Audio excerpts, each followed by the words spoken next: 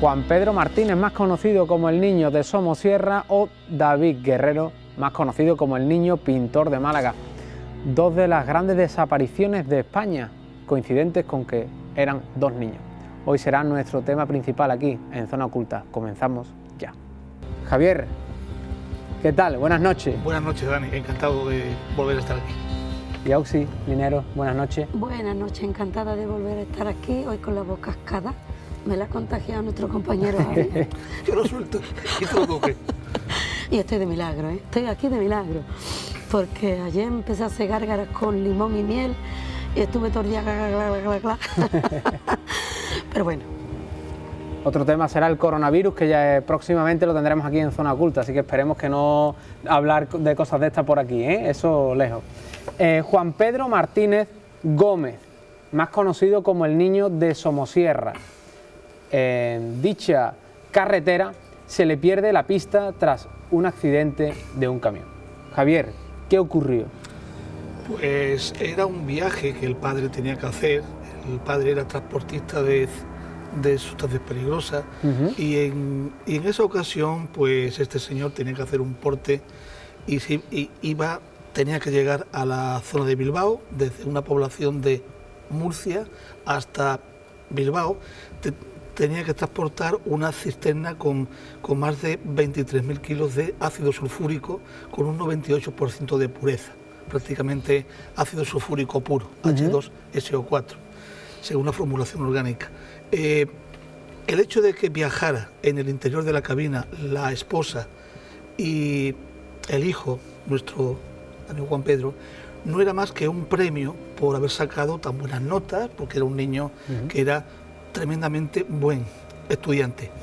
Eh, desde que salen hasta que, hasta que alcanzan la sierra de Somosierra, eh, a lo largo y ancho de la cuesta paran, según el tacómetro, en 12 ocasiones. El problema está cuando em- empieza a descender la sierra de Somosierra, que la Guardia Civil calcula que adquiere una velocidad de 140 km por hora, velocidad totalmente desproporcionada. Como consecuencia de un fallo mecánico que se descubre después de los frenos de este camión, el susodicho vehículo pierde el control, se sale de la calzada en una curva y se estrella. En ese momento Hasta, hasta aquí eh, hablamos de un accidente. normal y, por desgracia muy frecuente. Muy frecuente. Eh, hay que recordar que estamos hablando del año 1986. Nada que ver con actualmente con los medios que hay de investigación de accidentes que, que dispone la Guardia Civil, que es la competente. Bien, pues eh, recuperan dos, dos cadáveres que corresponden a los padres que quedan en la parte alta del camión, mientras que el ácido sulfúrico va bajando toda la, toda la ladera, arrasando todo lo que ve, porque es ácido y como todo el mundo eh, conocemos, es altamente corrosivo y máxime a un 98% de pureza. En los padres, en los cadáveres de los dos cuerpos encuentran algunas quemaduras, pero no son, pero no son importantes. Hasta ahí un accidente más. El tema está cuando los abuelos, porque se dirigían a la zona de Bilbao, a la familia materna, eh, alertan 10 horas después de que se produce el accidente de que dónde está el niño que viajaba también en la cabina. Claro. Y 10 horas después es cuando la Guardia Civil empieza a remover de nuevo todo el camión. Hay que recordar que los padres tardaron bastantes horas en poder rescatarlos, los cuerpos, Los en cuerpos. vida, porque estaban dentro de lo que es la cabina, de lo que es el camión, en medio de un gran amasijo de hierro. Empiezan a buscarlo y lo único que encuentran es una goma azul de una de las zapatillas. No encuentran nada más. A partir de ahí se disparan todas las hipótesis. Claro. Hipótesis que a mi juicio no tienen mucho sentido, como que fue abducido por un ovni. eh, y hay otras que ya empiezan a concordar con, con algunos testigos que ven al niño cerca de la embajada de Estados Unidos. Este caso, Javier, eh, está contemplado por la Interpol como uno de los casos más extraños de, desaparición de toda Europa, de toda la historia. ¿Qué tiene este caso para, para, ser tan complejo? Bueno, eh, ante esto tenemos que decir que en España, hasta el año 2018, que supongo que gente lo sabe, existen 12.330 desapariciones sin resolver, de las cuales el 50% de esas desapariciones corresponden a personas extranjeras, de la zona del Magreb, en concreto de Marruecos. Dentro de esas 12.330 desapariciones, el 52% pertenecen a menores de edad. Estamos moviéndonos en un perfil muy, muy, muy concreto. Este caso es que se relaciona ya con, otro, con otros temas, con otras hipótesis de, trabajo, se empieza a, descartar que el niño estuviese, estuviese disuelto.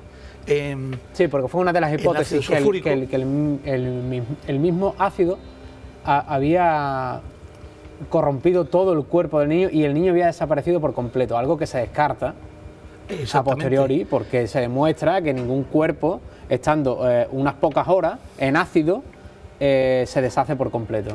Aparte que las hipótesis de, trabajo eh, cogen otro rumbo cuando las autopsias de los dos cuerpos de los progenitores vienen a decirnos que el el ácido no podía estar muy en contacto con, los, con los cuerpos porque es que iba ladera abajo, mientras que los cuerpos estaban en la parte superior del camión. Pero un año después se descubre en el interior de la cisterna, en un compartimento secreto muy, muy oculto, un alijo de droga. Entonces ahí el caso empieza a tomar otro rumbo y ya se, empiezan a, ya se empieza a sospechar esas 12 paradas tan seguidas que hay subiendo la sierra de Somosierra. Se ve al niño en, la última parada que hace el padre en una estación de servicio, que es la última parada que hace, un, testigo afirma que ve al niño subirse en una furgoneta blanca con un señor y con una señora mayor. Es decir, todo apunta a que en el momento del accidente el niño no se encontraba en la cabina. Si esto unes el tema del narcotráfico, las relaciones que según parece el padre del niño tenía con bandas organizadas, pues todo hace sospechar que quizá el niño fue un rehén a modo de prenda de seguro para mm, presionar al padre para que hiciera o para que diera algo. Por eso quizás sea uno de los casos más más extraño. O sea, que una de las hipótesis que, tú mantienes al menos es que durante esa subida alguien les perseguía, eh, de alguna manera eh, en una de estas detenciones raptan al niño, entiendo, y por eso esa velocidad, quizás persiguiendo a, otro coche que, probablemente llevase a ese niño, eh, esa velocidad, esa alta velocidad del camión que acaba por hacer que dicho camión se salga de la carretera. Además de eso, es que los frenos fallan. Entonces, tal vez el padre intentase escapar de algo, pero no se encontró con que esos frenos eh, fallasen. Eso fue lo que también ocurrió. O sea, no sabemos si, eh, eh, tampoco tenemos constancia de si el niño, cuando ocurre el accidente, estaba dentro o no estaba dentro. Porque hay otra hipótesis que dice que Mm, que esto de la furgoneta es a posteriori, es decir, con el camión ya volcado en la cuneta, hay una furgoneta que se para y coge al niño. No, no porque eh, según la autopsia los dos padres murieron en el acto. O sea, era muy difícil sobrevivir, independientemente del ácido, era muy difícil sobrevivir a ese accidente. Entonces, de hecho, la familia de, este, de este niño desaparecido sigue manteniendo que el niño fue secuestrado. Una de las hipótesis de que el niño fue secuestrado. Ausi, eh, sé que por tus capacidades tienes información. Sí, sí. No sé si las quieres aportar. Sí, sí, las aporto. Eh, mi punto de vista y lo que me ha llegado, entonces me gustaría compartirlo pues con los demás oyentes eh, o televidentes, o como les quiera llamar. Eh, estoy con nuestro compañero a la hora de que estas personas eran honradas y buenas y le estaban obligando a hacer algo que ellos no querían. Hasta ahí estoy de acuerdo con él. Que lo del accidente eh, del vehículo fue provocado lo puedo asegurar según mm, mis niveles de notas que me han enviado. Eh, provocaron el accidente para dar un escarmiento no a esta familia, sino a los demás que le van a pedir que hagan lo mismo que le estaban pidiendo a ellos. Digamos, sirvió como cabeza de turco, se suele decir. En cuanto al niño, parece ser que salió un poco despedido y lo cogió lo que es la avalancha del ácido. Es lo que a mí me ha llegado y sigue habiendo un pequeño resto de esta criatura en lo más hondo, en la hondonada, a mí me dicen el abismo. Hay un resto humano, eh, digamos, físico, en lo más profundo donde llegó el ácido. En un accidente muchas veces las criaturas de poco peso salen, eh, digamos, disparados. Entonces a mí me concuerda eh, lo que me ha llegado, que la criatura salió disparada y lo cogió lo que era el río de este ácido. Y que están todos, pues ya se sabe, desencarnados en el otro lado. Y eh, conclusión, que es, le sirvió una cabeza de turco para que los demás conductores, cuando los eh, chantajen de alguna manera, sucumban a hacer lo que les piden estas personas malignas y no se ha aclarado este tema porque es más cruel eh, reventar a una familia que a tres. No, así han reventado a tres. No ha aparecido el pequeño. El pequeño puede estar secuestrado. El pequeño es mayor. ¿Qué le estarán haciendo a mi pequeño? Hace más daño. Entonces a cualquier camionero que tenga un hijo le dicen o hace esto o ya sabe. Entonces no es la pena que te maten pero entonces el niño sí que muere en el acto también. Yo creo que sí. Yo tengo entendido que sí. ¿Y no aparece el cuerpo? ¿Mantienes porque el ácido...? Hay un resto, dicen que aquí textualmente yo lo he cogido, y hay un pequeño resto en lo más profundo del abismo. Quiere decir que esto estaría en alto, se sabe que está en alto la carretera y abajo donde llegó el ácido al precipicio o a donde sea, lo que queda está allí. ¿Hay, Javier, alguna posibilidad de, eh, no sé, me pregunto, de que el niño salga despedido a un, sitio que después eh, nadie registre? Porque se conoce que debido a la desaparición de este niño, eh, de Juan Pedro, mm, hubo varias batidas de personas de la zona por el lugar, buscando el cuerpo con vida o sin vida del niño. ¿Hay alguna posibilidad?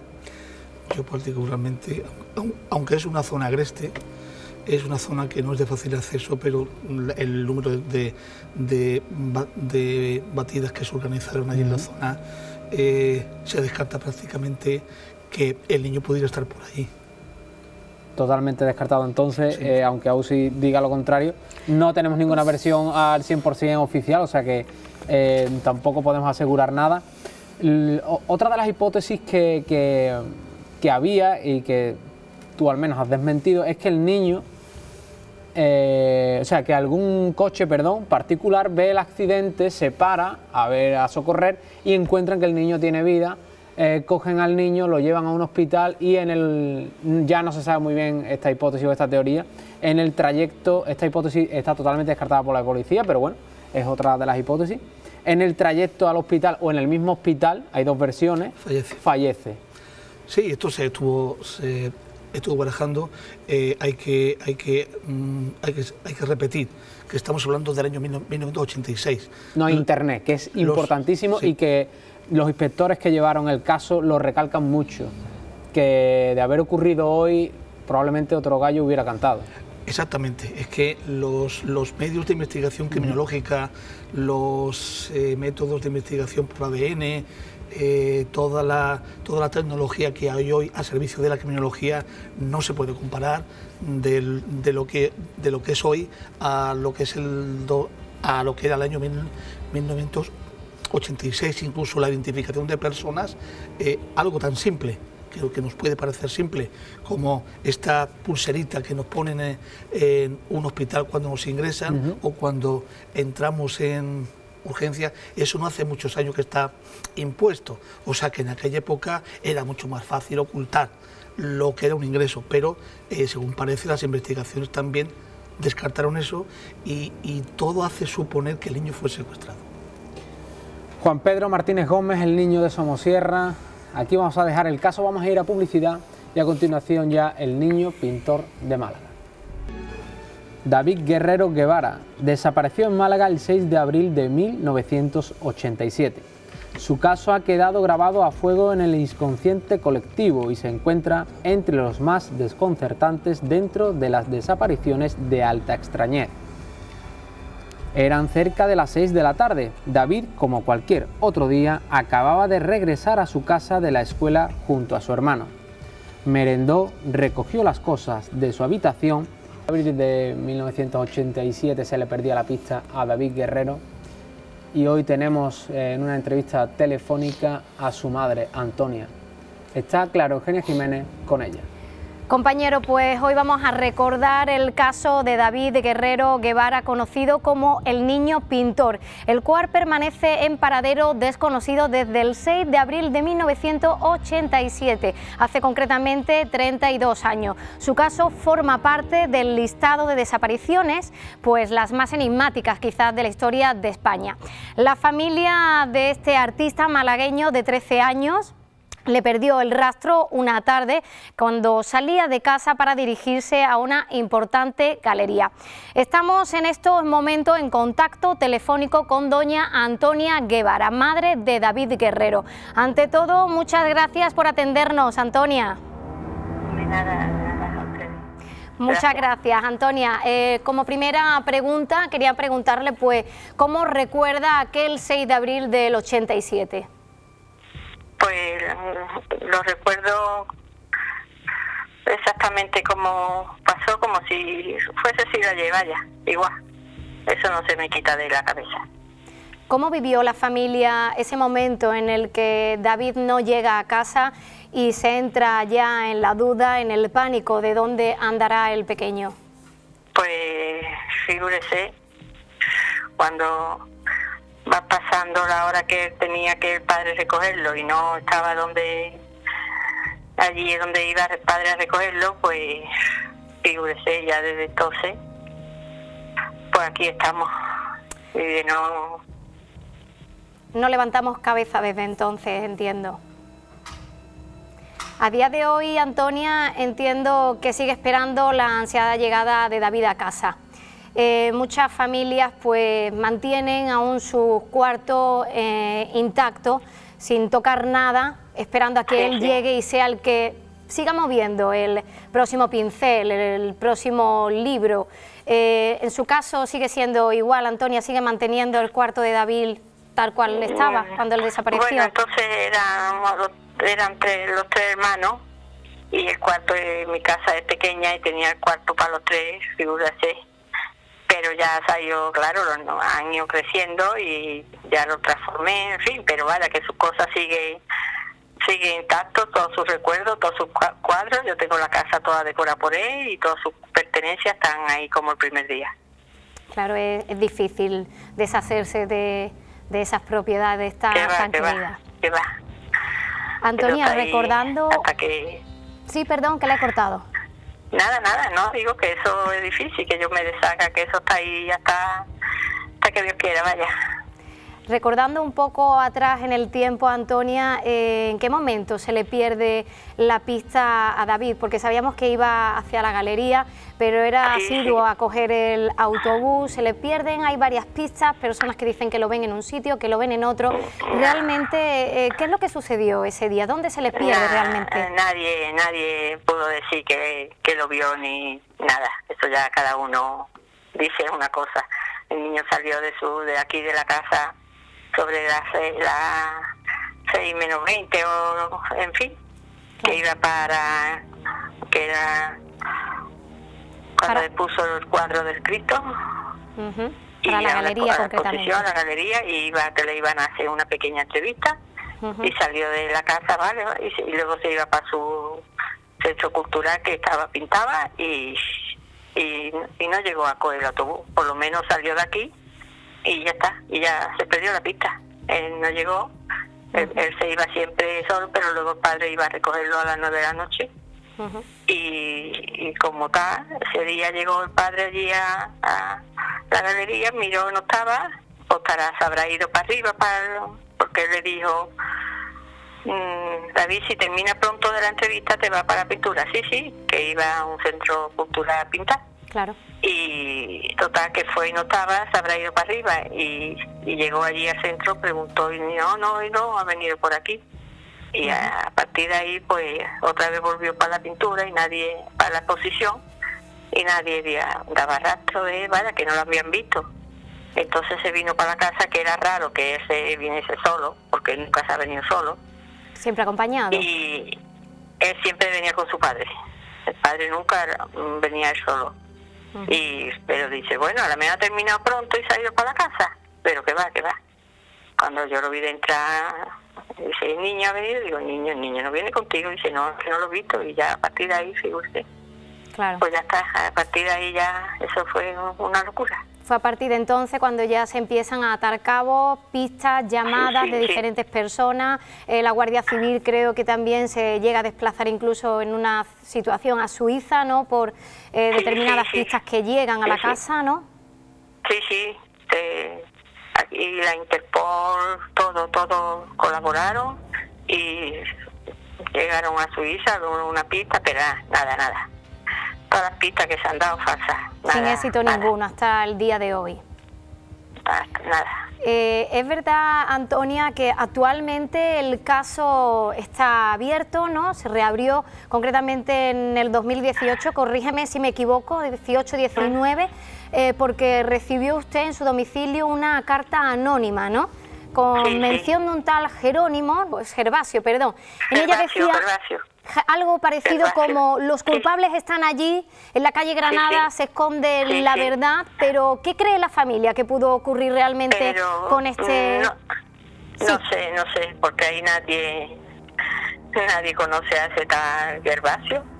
Ya la policía, mi hijo ya fue a la policía con esto, a dar parte ese, con a, decir eso y, y nada, y a si hay una nota... Ajá. Hay una nota de prensa, no recuerdo ahora mismo si es del país o de, del mundo, creo concretamente que es del país, eh, que comenta un poco de que en los años 80 en el club había un tal Gervasio, pero que desapareció, se fumó, desapareció como la pólvora. Entonces no sabemos tampoco si realmente la policía pudo investigar sobre este hombre eh, o realmente fue algo inventado por darle quizás un sentido a, ese nombre que nuevamente había aparecido en, esa nota. ¿Qué quieren que te diga? No sé, no sé lo que lo que pensar, porque aquí ya está hasta el día de hoy mi hijo el que va a la policía y el que lleva todo y, nada. Nada, no se sabe nada. Claro. De nada. Y actualmente, Antonia, ha aparecido nuevamente eh, un dibujo eh, que se utilizó en las primeras pruebas que llegaron desde que desapareció David. Era como un retrato de un, de un hombre mayor que tenía concretamente una amiga de él al que le regaló, incluso estuvieron bromeando de lo feo que era este dibujo. Una caricatura. Exacto, esa caricatura. Vuelve a llegar al buzón de Gema, puede ser el nombre de esta chica. Eh, y realmente cuando se inician las primeras pruebas, eh, podríamos decir que esa caricatura es cedida a la policía, pero de nuevo, 32 eh, años después, esa caricatura vuelve a aparecer en el buzón de esta amiga. ¿Quién puede mm, pues manipular esas pruebas, por así decirlo, y volverlas a soltar en un buzón cuando realmente están judiciadas, ¿no? Están en un cuartel de la Guardia Civil o en un juzgado.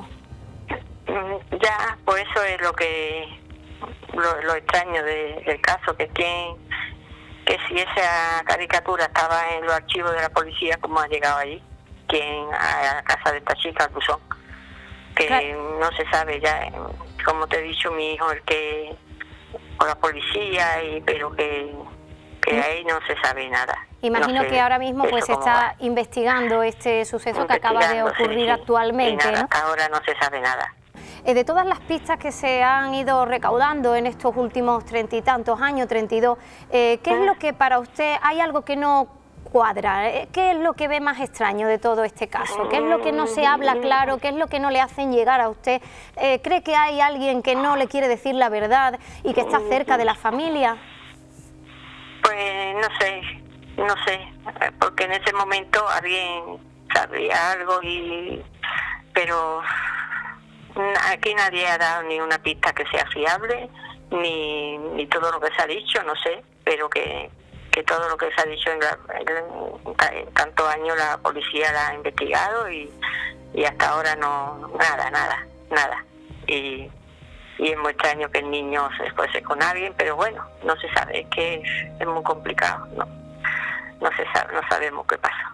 La verdad es que es un caso bastante complicado, Antonia, cuando sobre todo las pautas están tan claras, cuando se sabe siempre que un hijo sale de casa, toma un autobús y siempre vuelve de la mano de su padre. De su padre. Es muy difícil llegar y pasar todos estos años y tener la casa, la puerta de la casa siempre abierta a la espera de que llegue. Y bueno, imagino que aún sigue teniendo esa esperanza a pesar de estos 32 años que ya han pasado. No se demuestra otra cosa. Me cuesta mucho trabajo que haya un hombre que no diga, bueno, mi familia. Pero en fin, para que la cabeza no para de dar vuelta y, y esto es un sin. Es normal, Antonia.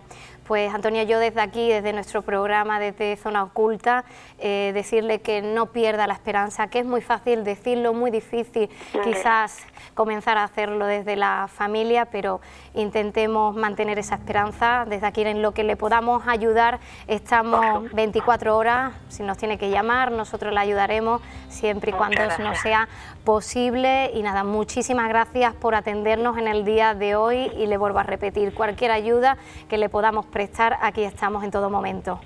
Muchas gracias. ¿eh? a usted, Antonia. Gracias a ustedes. Un besito. Enorme para usted también y toda la familia. De aquí le damos las gracias a Antonia por haber estado con nosotros en...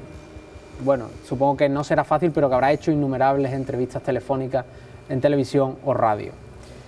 Eh, una de las cosas que más me choca, Javier, de este tema y que Antonia pues no nos va a aclarar muy bien es el tema de la nota que, ella recibe en 2018. Me parece, eh, o sea, si es una broma me parece muy macabro eh, y si es algo real, pues creo que sería un sitio de donde tirar del hilo para descubrir eh, nuevas noticias sobre, sobre David. Esta nota. Efectivamente, en este caso no, nos encontramos, pienso yo, con un caso radicalmente distinto al caso de Somosierra. Es un niño con una capacidad especial es, un niño que por esa capacidad tan, tan portentosa que tiene es muy cotizable y, es, y puede ser utilizado como una mercancía para producir dinero fácilmente. Aquí es donde yo pienso que el tema del secuestro cobra muchísimo más impulso. Evidentemente eh, es, es algo totalmente deleznable el tema de la nota, porque es que eso lo que lo que viene a demostrar es que existen personas que no tienen la más mínima empatía. Que me parece muy macabro el tema de la nota, el tema de eh, como diciendo no habéis buscado bien, tienes que buscar aquí, ve allí, pregunta por el, tal Gervasio. ¿Se conoce algo de algún Gervasio?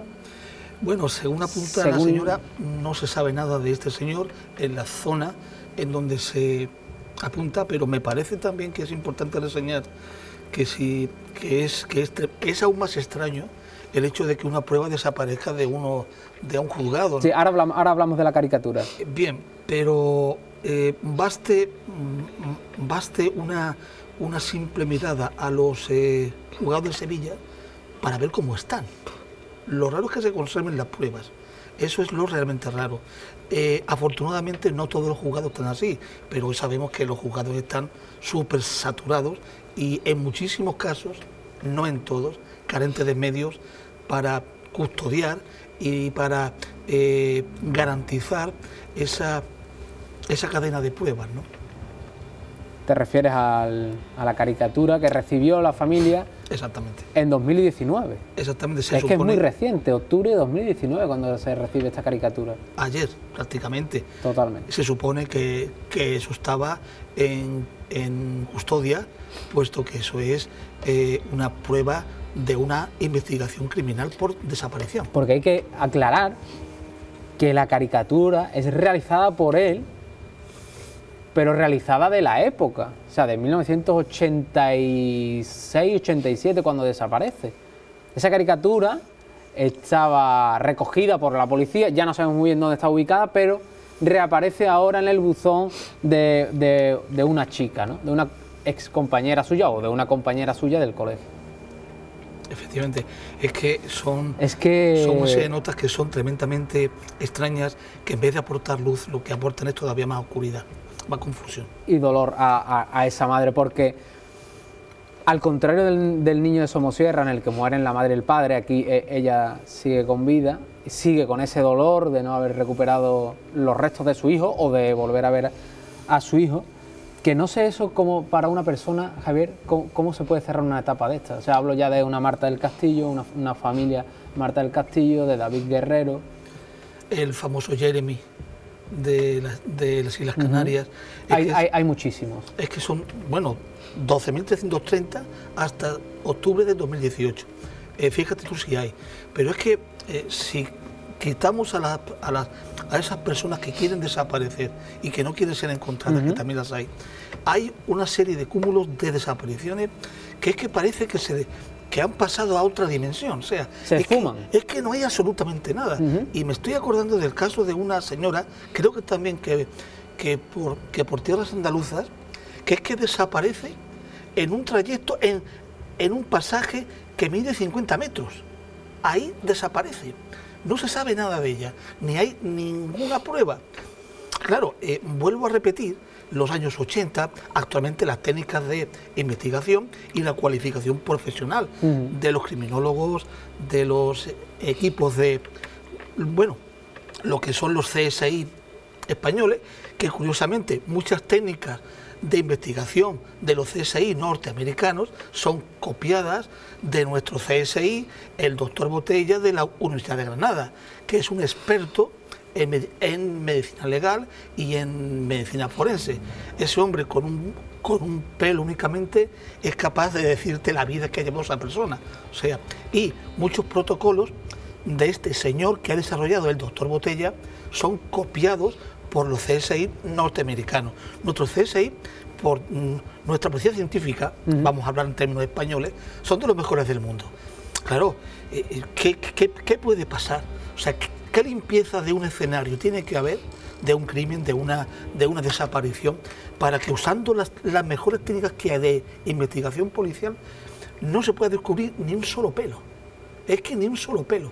Es tremendamente curioso y es aquí donde las, las hipótesis que yo llamo conspiranoides, que yo creo que no son aplicables, es cuando encuentran su, su mejor caldo de cultivo, ¿no?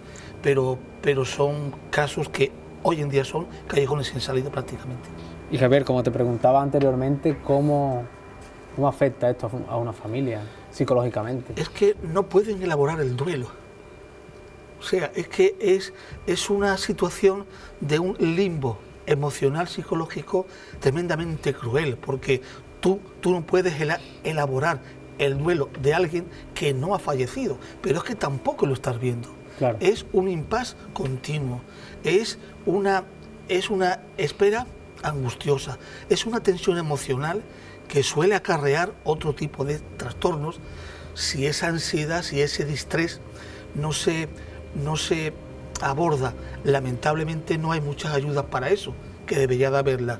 Existe en los primeros momentos de lo que es la tragedia, de lo que es la desaparición, pero luego ya más allá de eso no hay, no hay una asistencia de apoyo psicológico que yo creo que en estos casos, por su especial crueldad, debería de haberlo porque son heridas que no se tiene con qué cerrar. Es que Antonia Guevara en esta llamada telefónica nos decía que a diario le da vueltas a la cabeza. O sea, 32 32 años. años dándole vuelta a la cabeza diariamente evidentemente es un hijo perdido que eso una madre nunca lo va a olvidar, pero diariamente eso, eso afecta, supongo que... Lo que... ¿Se puede vivir después de un caso de esto? No, se, creo que se sobrevive, porque lo más, lo más aterrador que hay de todo esto, el denominador común, es esa, es esa ansiedad diaria, nocturna, eh, porque no puedes dormir, porque no puedes comer, porque no puedes hacer tu vida normal. Toda tu vida desaparece. Es un punto de inflexión, pero lo peor de esto, Dani, es esa falta de noticias, esa falta de pistas. Mire usted, pues ha encontrado esto, se ha encontrado unos restos que corresponden a su hijo, ya puedo cerrar. Es un libro que está constantemente abierto, preguntando, analizándose, eh, si, y lo peor de todo es dónde asocias la culpa. Fue, fue culpa mía de debí de acompañar a mi hijo a, la, a esa parada de autobús ese día, ¿qué hubiera pasado si, qué hubiera pasado si no? E, ese, esa continua culpa es lo que acaba por destrozar a una, a, una, a una persona. El caso de las niñas de Alcácer, que fue una desaparición, pero que aparecieron lamentablemente brutalmente asesinadas, pues eh, debido al, a, la, a, la, a, la, a, la, gran intensidad de todo lo, que he vivido, o se separaron los padres de las, de las, tres, de las tres niñas, muchos, eh, al, algunos de ellos fallecieron por, por temas de cáncer. Es, es una situación de estrés constante que eso acaba por afectarte. O sea, un cuerpo humano no está preparado para sufrir una noticia como esta. Ni, muchísimo menos. Eh, me llama mucho la atención que, Antonia siga dejando abierta su puerta. Sí. O sea, es brutal.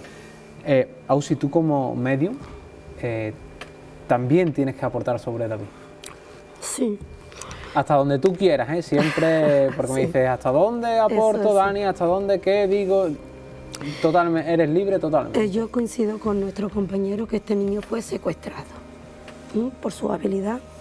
De hecho, hay noticias cada día que aparece un, cuadro eh, nuevo eh, que no se sabía nada de él en manos de un una persona que la ha heredado de su antiguo propietario, coleccionista, ¿Quién ha pintado ese cuadro en realidad? Yo creo que se lo llevaron para hacerle pintar cuadros, pasarlo por nombres de ya pintores eh, muertos o desencarnados para eh, económicamente lucrarse. ¿Qué pasó al final? Eh, yo pienso que este niño... O sea, tú mantienes que lo mantuvieron con vida. Sí y obligándole a realizar cuadros. Sí, sí, sí, sí. ¿Y esos cuadros? Pues unos están guardados, otros ya están vendidos en el comercio, subastados, y nos iremos enterando de más. Nos iremos enterando. Quizás a lo mejor yo o Javi no, lo mismo tus hijos sí. ¿Me entienden? Apareció una nueva colección que estaba de sabe Dios quién, de Goya, de Miglaje, de los más cotizados. Eso es seguro según tu hipótesis, Ausi, es que yo, eh, si yo fuese pintor, yo dejaría mensajes ocultos en mis pinturas. También, también. Bueno, eso, es materia para otro programa. Totalmente. Ya me refiero que como está asegurando de que lo mantuvieron secuestrado o que está secuestrado, no lo sé. Eh, mis últimas noticias son que él se negó a vivir. Él llegó un momento, porque esta, esta criatura estaba en, en un momento eh, de euforia, en un momento que él se notaba viendo importante, un momento que él no tenía nada y de alguna manera lo convencieron de que si em, le hacía yo un trabajo, iba a ciertos sitios con ellos, él iba a tener todo, él iba a tener todo. Entonces fue engañado durante un tiempo fue engañado, se, le lavaría un poco el cerebro. Cuando él se dio cuenta de la realidad, de la cruda realidad, se negó a vivir. Él no quería vivir. Y eso fue lo que fue mermando su capacidad hasta eh, desencarnarse y mm, yo creo, si no me he equivocado, al sumar y al restar los diferentes niveles de eh, ahora mismo aquí en la Tierra, otros mundos paralelos, eh, muchas veces se nos pierde fechas, detalles. Si yo estoy en lo cierto, este niño creo que murió con sus 30 años, cansado de vivir, no queriendo vivir, feliz de haber colaborado en las pinturas, feliz de haber sido él lo que hizo, pero en el fondo no tenía por qué vivir se, echó a morir, como la persona que enferma y ni se toma los medicamentos y dice yo lo que quiero es morirme, pues él se fue desgastando y murió.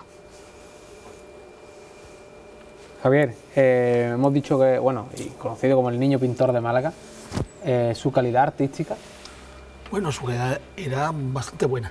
O sea, este hombre, eh, de haber seguido su carrera en, en, la pintura, llegado podría haber llegado a, un nivel de pintura bastante interesante. Ya con, ya con esa edad, la edad en que, en que desapareció, era una auténtica promesa. Era, una auténtica promesa. Si este, si este chaval hubiese podido recibir toda la instrucción, todas las técnicas, bueno, pues estaríamos hablando de un pintor seguramente de talla, de, de talla internacional seguramente. Tenía mucha calidad su obra. Pablo Picasso. No exactamente en ese estilo, seguramente. No, no, del estilo no, pero. con esa calidad, seguramente que sí. Curioso, cerramos el tema de David Guerrero, hay muchísimos más desaparecidos. Ausi, sé que has tenido algunos casos más cercanos. Sí, sí, sí. Eh, me hablabas fuera de cámara de un caso en Motril. Sí. Eh, muy desconocido para la gran mayoría de personas, ya que hemos hablado del niño de Somosierra, un, eh, bueno, pues, se han escrito millones de artículos sobre él y en televisión y en radio, el niño pintor de Málaga, pero esta desaparición de Motril. Esta ha sido un poco el borreguito negro. Los padres se han movido mucho y lo han estafado. Le han sacado mucho dinero a estas personas con pistas farsas. Y no es por comparar ni quiero ofender a nadie, pero hay temas y hay personas que le han hecho muchísimo más eh, caso a esta familia, que han buscado en muchísimos sitios eh, invirtiendo lo de nuestros impuestos y sin embargo esta familia no ha recibido nada. Más, eh, yo he querido ayudar desinteresadamente y se me ha amenazado. ¿Quién te ha amenazado? Las autoridades. Pero luego han ocurrido muchas cosas, eh, digamos, que no tienen nada que ver con el tema, que justamente me han llevado al tema. Y ahí pues entró una conexión con los padres, con los que sí me gustaría eh, tener su autorización, si algún día hiciéramos algo más profundo. Perfecto, Ausi. Ya hablaremos algún día largo y tendido sobre este caso. Es largo, es largo. Más casos, Javier. A lo largo de la historia creo que ha habido innumerables casos de, desapariciones extrañas. Pues mira, sí, en concreto en, el año 531 antes de, antes de Jesucristo. O sea, nos estamos eh, remontando a muchísimo tiempo atrás. Eh, son desapariciones famosas, eh, pintorescas. el, fundador del taoísmo, Lao Tse, sabio chino, pues desapareció en su, en su buey mientras atravesaba una ligera niebla. Que el tema de las nieblas también, también es un tema que es bastante recurrente. El célebre Espartaco, el célebre esclavo romano que se rebeló y que empezó a ganar batallas, pues es un hombre que según se sospecha eh, murió en el campo de batalla, pero nunca se descubrió su cuerpo. Eh, el emperador mm, romano Valente, estamos, estamos hablando del, del, 378 a.C., fue derrotado por los godos, pero en la batalla de Adrianópolis, pero jamás se encontró su cuerpo tampoco, ni ningún resto, ni ningún trozo de su vestimenta, nada. Eh, pero siempre nos remitimos a casos individuales. Pero curiosamente la, la, historia nos habla también de, extrañas desapariciones que nada tienen que ver con el Triángulo de las Islas Bermudas. ¿no? Y en el año 2014, eh, pasajeros y tripulación, eh, el vuelo en concreto 370 que cubría Malasia Airlines el 8 de marzo del 2014 despegó del aeropuerto Kuala Lumpur de, de Malasia con destino a Pekín y hasta ahora nada nada más se supo. Nada del fuselaje. Del fuselaje, ni de, ni de tornillos, ni de restos del avión, ni de caja negra, ni de pasajeros, absolutamente nada. En, en el 2014 eh, también 43 estudiantes que viajaban en un, en un autobús en la zona de, de México, en el país de México, que es uno de los países más violentos del mundo, por cierto, hay que tener cuidado, eran estudiantes de psicología, pues también desapareció. Absolut- absolutamente. Se habló que se habían sido secuestrados por pistoleros, pero son hipótesis que nunca llegaron a, a poder confirmarse, porque es que no, no se encontró absolutamente nada. Pero algo tremendamente interesante eh, está pasando desde hace bastantes años, en, en concreto del año 2000, que se tiene, que se tiene constancia, en, un en una célebre reserva natural de los Estados Unidos, que todos, bueno, los que somos de, eh, de mi edad, pues eh, solemos recordar este parque nacional gracias a los Oyogi y su compañero Bubu, el parque de Yellowstone.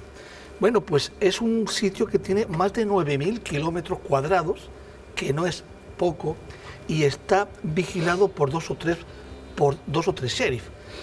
Ahí desaparecen todos los años cientos y cientos de personas que desaparecen, que no se encuentra ni una mochila, suelen ser senderistas, pero es que también desaparecen gente que trabaja allí, guardabosques de apoyo al sheriff, también desaparecen. Van a hacer su, su ronda ah, habitual y no vuelven ni se les encuentra ni un solo resto, ni de ropa, ni de mochila, ni de armas, absolutamente nada. Y es algo que curiosamente salió a relucir en el artículo llamado El crimen perfecto en los Estados Unidos, de, de- de Perfect Crime, donde eh, un autor ¿Se descartan em- los animales aquí? empieza a investigar. Es que no se encuentra absolutamente nada. Claro, un animal siempre dejará algún resto. Hay osos, Claro. hay, ga- hay gatos monteses, hay animales salvajes que hay. claro, claro, hay a eso me refiero. Cuidado, pero es que no se encuentra absolutamente nada. No, sol- no solo pasa en Yellowstone, sino que pasa en todas las grandes reservas de los Estados Unidos. ¿eh? Hay cientos de desapariciones que nadie sabe si son grupos de familias que se dedican a eso, a asesinar.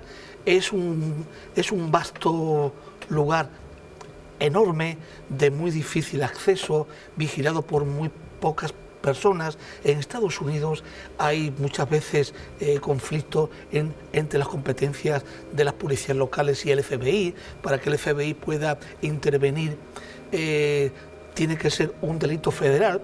El secuestro no era un delito federal hasta hace relativamente nueve o, nueve o diez años. Hay un conflicto que impide todavía más eh, todo esto, que si vas, a- que si vas sumando, te, te vas dando cuenta de que, de que por muchas técnicas de investigación, ¿cómo, cómo puedes cubrir una vigilancia de 9.000 metros, de 9.000 kilómetros cuadrados con una avioneta, por ejemplo. Pero lo curioso, lo realmente curioso, es que en todos los casos, absolutamente en todos los parques donde ha habido desapariciones, el elemento en común es que son senderistas, turistas, que están en forma, que son personas que están acostumbradas a recorrer grandes eh, trayectos y no se encuentra absolutamente ni un solo vestigio de ellos. Desaparecieron como por arte de magia. Y no, no se, no se les da por muertos. ¿Me No. entiendo? Es- eh, exactamente, se, se les da por desaparecidos, pero ¿dónde están? ¿Dónde están? ¿Las fuerzas telúricas tienen algo que ver aquí? No lo sabemos. Pues, no, Quizás de pues no para otro programa solo el parque de Yellowstone. Seguramente. Javier. Eh, Ausi, no sé si tenías también algo que aportar sobre un caso muy conocido, no- o si quieres, si no, Eh, de desaparición de niña. la, la de Huelva. Bueno, sí. Me has es que me ha comentado varios fuera de cámara. Yo me encontré a un familiar de una de estas niñas, no voy a decir el sitio exactamente, pero sí en Sevilla. Yo iba trabajando, eh, eh, digamos, repartiendo por las tiendas el material y eh, me encontré a un familiar que estaba pegando pues estos pósters De buscando a desaparecidos. la criatura. Entonces mm, le pregunté, ¿soy familia? Y me dice, sí, voy a decir. Y le dije, pues tengo, yo soy esto y tengo noticias. Un poco se enfadaron y yo les dije, yo lo siento mucho, mis deseos más grandes, él está equivocada porque no tengo hijos y esa es mi pena. Y cuando a mí vienen a darme noticias, lo siento mucho, pero ya están desencarnados. Si sabes algo, dímelo. Digo, yo ofrezco algo más que lo que sé. Yo solamente sé que es un ángel y que está con Dios. Seguro. Y ya ahí se me vino abajo esta persona. Yo temblaba porque siempre se ha dicho diferentes razas, diferentes formas de, de actuar. Y, evidentemente yo tenía la notificación que estaba en tierra, pero que le llegaba el agua. Ellos ¿Qué no- significa esto? De esto en tierra pero le llega el agua. el cuerpo, la parte física, orgánica, eh, yo la, la notificación que tenía era que estaba muy cerca, estaba en tierra, que le llegaba el agua. Quiere decir que no estaba enterrada, que no estaba en un sitio hundida en el agua. Y evidentemente todo el mundo sabe que se encontró en la ría de Huelva, la criatura. Y tampoco quisieron mi ayuda. Siempre les digo que no quiero económicamente nada. Ellos lo pueden decir, a los que me he atrevido a llamar. Incluso cuando fui a Motril dos veces que he ido, ellos me han querido dar para gasoil y yo no le he cogido ni para pipa. Es más, yo llevaba lo que realmente necesito, una vela, un incienso, lo que yo necesito incluso lo pongo yo. Si yo he dado misas por algunas almas de estas personas, ahora mismo se estarán enterando si, si me oyen. No le he dicho, le he dado esta misa, me ha costado tanto, porque eso es otro plano. Eso es otro nivel, otra dimensión. Entonces mis problemas eso los, digamos, los pago yo. Y cuando me- lo malo es cuando me mandan a dar un mensaje. Eso es lo malo. Cuando me mandan a decir, si puedes, haz todo lo posible porque sepa que soy un ángel y estoy con Dios. Luego me enteré que la familia es muy creyente. Yo doy los mensajes muchas veces a ciegas Claro. Y otros mensajes de otra persona, pues hasta tres veces, dos llamadas mías y un familiar, mira, que no queremos dinero, no queremos publicidad, ya ella tiene lo suyo, Claro. solo quiere que contáis con ella dentro de unas posibilidades que ni se saben. Tan solamente la de Motriz ha aceptado la mano que yo le daba. Y es más, es la que más estafada ha sido, la que los brujos le han sacado más dinero. Y la respuesta, creo, bajo mi opinión y lo que yo sé, más exacta, no le ha costado ni un duro. Algún día hablaremos de esta desaparición en Motril. Muchísimas gracias, Ausi. Gracias. a. Gracias, Javi. Pues un verdadero placer, Dani.